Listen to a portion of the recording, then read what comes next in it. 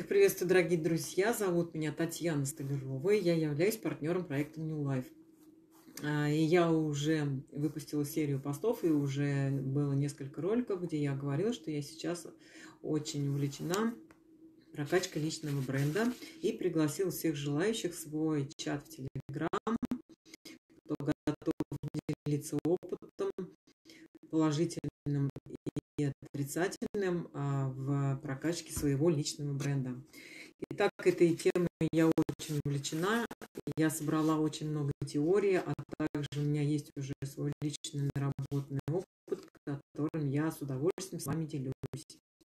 И в продолжении своего поста а, под названием «Пять важнейших действий для успеха» я хочу поговорить сегодня об одном из важнейших из, одной из важнейших составляющих для достижения вашего успеха – это ресурсы. Ресурсы. Что же такое ресурсы?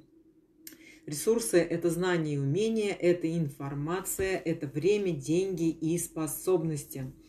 Ресурсы у нас делятся на внутренние и внешние. А что такое внутренние ресурсы? Э, что такое внешние ресурсы? Это деньги, люди, информация и время. Внеш... Внутренние ресурсы – это наши способности, умения, состояние и наши э, человеческие качества.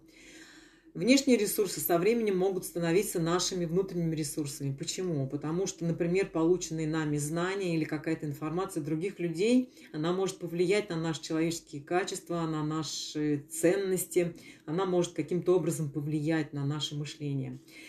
Принципе, все необходимые ресурсы для достижения наших целей, они есть у каждого человека. У каждого они есть свои, надо только, главное, понять, принять себя и понять, в чем ты хорош, чем ты владеешь. А, и надо понимать, что все это настолько индивидуально, какой-то определенной универсальной формулы для всех одной нет, потому что все мы люди эм, разные, все мы уникальные. То есть то, что для одного является хорошим ресурсом в продвижении бизнеса, для другого, наоборот, будет, может казаться каким-то тормозом.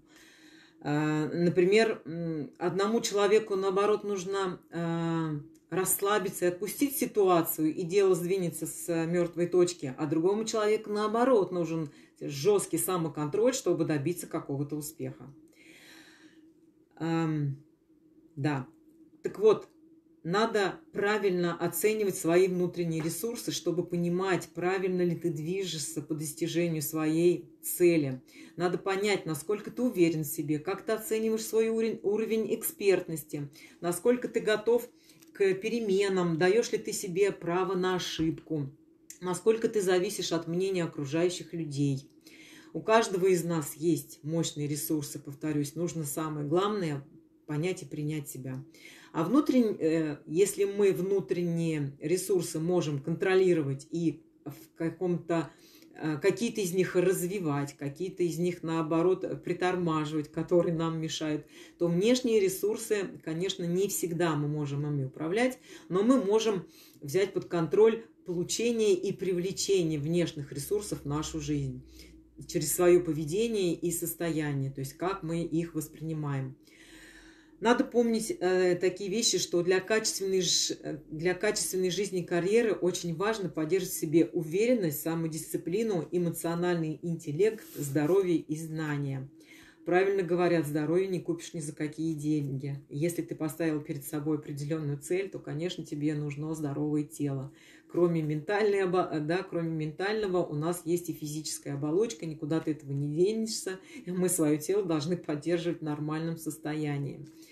Также мы должны обязательно поддерживать свой интеллект, обязательно учиться, чтобы быть интересными другим, и чтобы знать, какими современными методами развиваться. Да. А, помните, что события этого года показали нам, насколько а, быстро, буквально в одночасье мы можем лишиться внешних ресурсов. Поэтому поддерживайте свои внутренние ресурсы, развивайте их, вкладывайте в себя, не жалейте. Внутренние ценности, они всегда в цене. Ну что ж, а, вот так вот вкратце, вкратце я пробежалась по ресурсам, а, которые являются одним из важнейших скажем так, орудием в, наших, в нашем достижении наших целей. Надеюсь, была для вас информативной. Кому интересна тема прокачки личного бренда, ставьте плюсик в комментариях. Я скину вам э, ссылку на свой чат Telegram и будем вместе работать над этим вопросом.